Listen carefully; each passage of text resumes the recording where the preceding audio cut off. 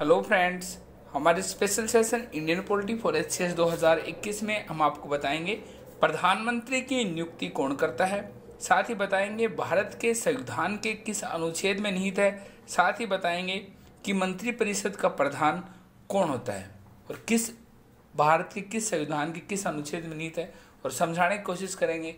Examiner आपसे exam में कैसे क्वेश्चन पूछेगा।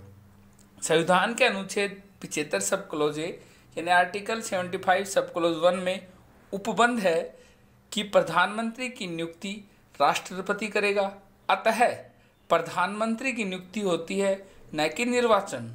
प्रधानमंत्री का न तो चयन होता है और न ही मनोनयन होता है। यानी एग्जामिनर आपसे पूछेगा, सबसे पहले प्रधानमंत्री की नियुक्ति कौन करता है? आपका आंसर होगा राष्ट्रपति। वो ऑप्शन दे सकता है आपको। राष्ट्रपति लोकसभा लोकसभा और राज्यसभा, इनमें से कोई नहीं। तो आपका आंसर होगा कि प्रधानमंत्री की नियुक्ति राष्ट्रपति करता है। और राष्ट्रपति करता है तो उसी दल के नेता करता है जिसका बहुमत होता है। लेकिन ये आपको एग्ज़ाम में यही पूछेगा कि प्रधानमंत्री की नियुक्ति कौन करता है? आपका आंसर होगा राष्ट्रपति।